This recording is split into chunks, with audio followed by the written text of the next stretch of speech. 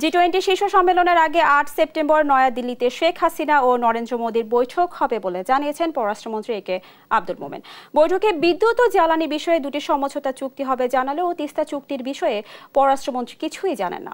বৈঠকে আগামী নির্বাচন নিয়ে আলোচনা হবে কি না জানতে চাইলে ডক্টর মোমেন বলেন, জনগণের আস্থার উপর নির্ভরশীল সরকার, যা মেনে নেওয়া হবে কি কারও মতাব্বরী Azizur Rahman কিরণের report. The Indian capital's impressive makeover. নয় থেকে দশ সেপ্টেম্বর ভারতের নয়াদিল্লিতে শুরু হতে যাচ্ছে বিশ দেশের শীর্ষ সম্মেলন জি টোয়েন্টি স্বাগতিক ভারতের আমন্ত্রণে অতিথি হিসেবে সম্মেলনে যোগ দেবে বাংলাদেশ। Establishments from September 8 আঞ্চলিক গুরুত্বপূর্ণ হিসেবে নিজেদের অবস্থান প্রতিষ্ঠিত করতে পারায় এই সম্মেলনে বাংলাদেশকে বিশেষ গুরুত্ব দেওয়া হচ্ছে বলে জানিয়েছেন পররাষ্ট্রমন্ত্রী। সফর ঘিরে সব থেকে আলোচনায় ভারত বাংলাদেশ দুই সরকার প্রধানের বৈঠক। জি টোয়েন্টি শীর্ষ সম্মেলনে অংশগ্রহণের পাশাপাশি মাননীয় প্রধানমন্ত্রী এবং ভারতের মাননীয় প্রধানমন্ত্রীর মাঝে দ্বিপাক্ষিক বৈঠক অনুষ্ঠিত হবে, যেখানে দ্বিপাক্ষিক স্বার্থ সংশ্লিষ্ট গুরুত্বপূর্ণ বিষয়ে আলোচনা হবে বলে আশা করা যাচ্ছে। এছাড়াও, উভয় প্রধানমন্ত্রী কর্তৃক বাংলাদেশে বাস্তবায়িত বিদ্যুৎ ও রেলপথ খাতের একাধিক প্রকল্পের যৌথভাবে উদ্বোধনের সম্ভাবনা রয়েছে। বাংলাদেশ ও ভারতের মধ্যে রাজনৈতিক, অর্থনৈতিক, ঐতিহাসিক ও সাংস্কৃতিক পর্যায়ে সুগভীর সম্পর্ক বিদ্যমান। বাংলাদেশের স্বাধীনতা যুদ্ধ, বিভিন্ন সময়ে পারস্পরিক সহযোগিতা, আঞ্চলিক ও আন্তর্জাতিক পর্যায়ে সমমনা অবস্থান দুই দেশের সম্পর্ককে গভীরভাব, গভীরতর করেছে। সাম্প্রতিক বছরগুলোতে মাননীয় প্রধানমন্ত্রীর দূরদর্শী নেতৃত্বে দুই দেশের সম্পর্ক অভাবনীয় গতি লাভ করেছে যা সোনালী অধ্যায় হিসাবে আখ্যায়িত হয়েছে।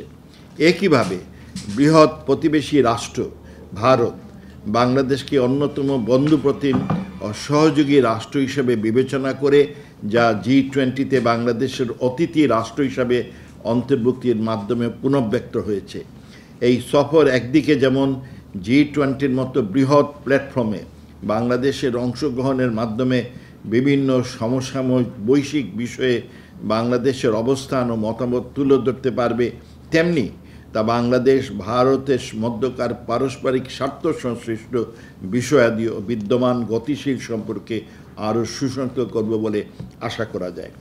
উন্নয়ন চুক্তি নিয়ে যতটা না আলোচনা, তার থেকে বেশি আগ্রহ বাংলাদেশের আসন্ন নির্বাচন নিয়ে। বিষয়টি বৈঠকে প্রাধান্য পাবে কিনা জানতে চাইলে পররাষ্ট্রমন্ত্রী এ কে আব্দুল মোমেন বলেন, তার সরকার কারও মাতব্বরই মেনে নেবে না। সুষ্ঠু নির্বাচন আয়োজনে কেবল পরামর্শ আমলে নেবে সরকার প্রধান।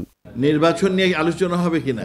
আই ডোন্ট নো আমরা স্বচ্ছ সুন্দর ইলেকশন চাই, সেইখানে যদি আমাদের কেউ সহায়তার হাত বাড়িয়ে দেন উইল ওয়েলকাম ইট তবে কেউ যদি মাতব্বরী ভূমিকা নিয়ে আসেন will not we are a independent sovereign country আর বঙ্গবন্ধুর কন্যা শেখ হাসিনা, আপনার কোনো কে- কাউকে ভয় পায় না।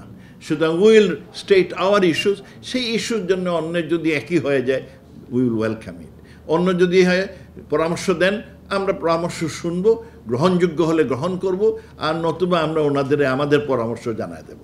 দুই হাজার ছাব্বিশে শেষ হতে যাওয়া ফারাক্কা চুক্তি নিয়ে কাজ করছে দুই দেশ বলেও জানান মন্ত্রী। তবে বহুল আলোচিত তিস্তা চুক্তির বিষয়ে এবারও যে আশার বাণী মিলবে না তাই স্পষ্ট পররাষ্ট্রমন্ত্রীর কথায়। তিস্তার কথা বললেন যে কি কে কি লিখেছে টিকেছে আমাদের তো জানা নাই এই। চুক্তির নীতি নির্ধারণ সব ঠিক হয়ে গেছে। কি হবে না বেশ ড্রাফট ড্রাফট ওয়াজ কমপ্লিট তারা এই অবস্থানেই আছে। কিন্তু বিশেষ করে আপনিও জানেন আমরাও জানি কি কারণে হয় নাই এই অবস্থানেই আছে। এছাড়াও বৈঠকে জলবায়ু ফান্ড থেকে অর্থ সহায়তা নারীর ক্ষমতায়ন এবং গ্লোবাল সাউথের নেতৃত্বদানকারী দেশ হিসেবে আঞ্চলিক সহায়তা ও স্থিতিশীলতা ধরে রাখতে বিশ্ব নেতাদের সঙ্গে বৈঠকে নিজেদের অবস্থান তুলে ধরবেন প্রধানমন্ত্রী শেখ হাসিনা। আজিজুর রহমান কিরণ দেশ টিভি ঢাকা।